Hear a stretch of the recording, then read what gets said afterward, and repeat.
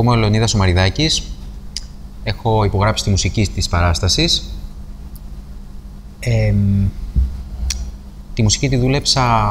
Ο πυρήνας της μουσικής δεν είναι πολύ μακριά από τη φιλοσοφία της ταινίας. Δηλαδή η ποιητική αυτή δεν είναι μακριά από την ταινία. Δεν την είχα δει την ταινία βέβαια, την είδα στη διάρκεια των προβών. Οπότε δεν έχω έτσι, επηρεαστεί ιδιαίτερα.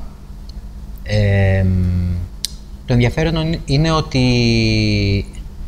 είναι μια μουσική που είναι φτιαγμένη για τη σκηνή, να παίζεται επί σκηνής. Είναι μια μουσική που έχει και βαλκανικά στοιχεία λόγω της τρομπέτας του Μέλιου Κατσαμάκη ε, και που βγαίνει από τον πυρήνα του έργου. Δηλαδή, στην πραγματικότητα κάπως είναι ο ήχος από αυτού που συμβαίνει στη σκηνή με, με, με, μουσικούς, με μουσικό, μουσικά υλικά, ας πούμε. Ήταν πολύ ενδιαφέρον για μένα που δεν το έχω ξανακάνει αυτό να παίζω μουσική επί σκηνής, ε, σε θεατρική παράσταση, παρόλο που έχω κάνει πολλές μουσικές για θεατρικά έργα. Ε, ήταν πολύ ωραία εμπειρία να δουλεύω μέσα σε μια έτσι αρκετά μεγάλη ομάδα και να είμαι ένας συστατικός αυτής της ομάδας. Αυτό ήταν που μου έδινε πάρα πολύ μεγάλη χαρά. Ε, κάποια από τα μουσικά θέματα τα δουλέψαμε μαζί με το Μέλιο. Ε, και νομίζω ότι η μουσική ε, έχει ένα αρκετά κεντρικό ρόλο μέσα σε αυτή την, ε, την παράσταση. Λόγω του ότι είναι τσίρκο... Ναι. Λόγω του ότι είναι τσίρκο, λόγω του ότι η παράσταση έχει ένα ψυχισμό συγκεκριμένο που βγαίνει μέσα από τις μελωδίες και από όλα αυτά που συμβαίνουν τα... και αυτά που παίζουμε και επίσης έχουμε και μία μικρή σκηνική δράση με το μέλιο. Δηλαδή είμαστε η μουσική του τσίρκου. Έχουμε και κάποιες ατάκες. Αν μιλάτε, δηλαδή παίζετε με κάποιο ρόλο, είσαστε και εσείς μέλη του θεία σου. Ναι, ακριβώς. Ακριβώς.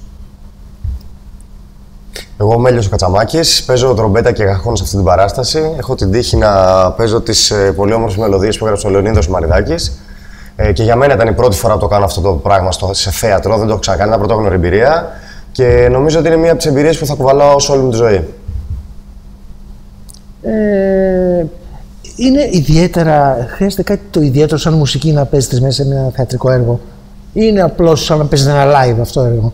Υπάρχει κάποια διαφορά; Είτε παίζετε σε ένα live, είτε παίζετε σε ένα. Ε, νομίζω ότι υπάρχει τεράστια διαφορά. Mm-hmm. Γιατί στο live ε, μπορείς να ξεφύγεις λιγάκι, μπορείς να παίξεις λίγο με τον κόσμο. Το θέατρο είναι λίγο απομονωμένο από τον κόσμο. Τουλάχιστον έτσι το έχω, λάβει, το έχω κλάβει εγώ.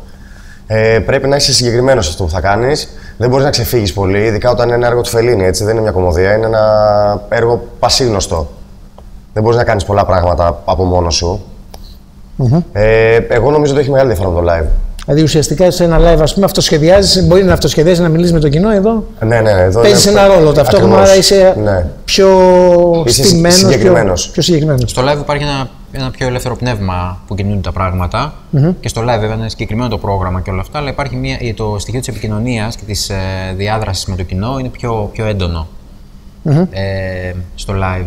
Εγώ ήθελα να πω απλώς ότι επίσης ε, ε, ότι γράφοντας μουσική για μια παράσταση, ε, ο περιορισμός που σου θέτει η ίδια η παράσταση, γιατί έχει ένα θέμα, έχει, έχει ένα κείμενο το οποίο πρέπει να σεβαστούμε και μια ενέργεια και ηθοποιή και όλα αυτά, είναι απελευθερωτικός για το μουσικό.